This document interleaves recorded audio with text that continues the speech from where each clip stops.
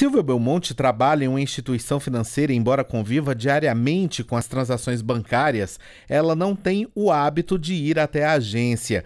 Prefere fazer todas as movimentações financeiras por meio do celular ou computador. Apesar de bancária, eu não quase não visito agência bancária. São pouquíssimas as coisas que eu não consigo resolver pelo meu celular ou pelo meu computador. De acordo com o levantamento do Banco Central, agências e postos de atendimento estão perdendo espaço. Em 2016, foram realizados pouco mais de 8 bilhões de transações bancárias nesses locais, 8% a menos que em 2015. O professor Roselito Félix, do curso de pós-graduação em Segurança da Informação de um centro universitário em Brasília, esclarece que, apesar da facilidade da internet, o usuário precisa de cuidados com a segurança. O cuidado qual é?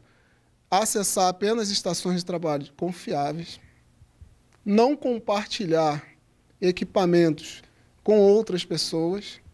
Ao terminar de usar o seu a sua interface fechar adequadamente, sair adequadamente. O compartilhamento de equipamento, assim como qualquer outra coisa, é muito complicado, principalmente no mundo virtual, porque muitas vezes a gente não sabe quem está do outro lado. O canal preferido pelos brasileiros para a realização de transação bancária em 2016 foi o computador pessoal, responsável por 33% das operações. Mas as mais de 16 bilhões de transações realizadas em 2016 por equipamentos móveis, como celular, tem ganhado a preferência do brasileiro e já soma 28% das operações.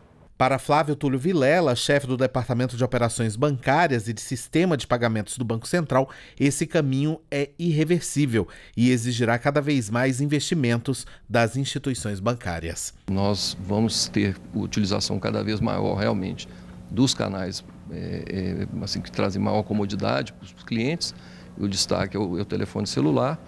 E eu acho que os bancos vão, eles estão preocupados em que isso seja cada vez melhor e ofereça mais serviços pelos celulares para os clientes.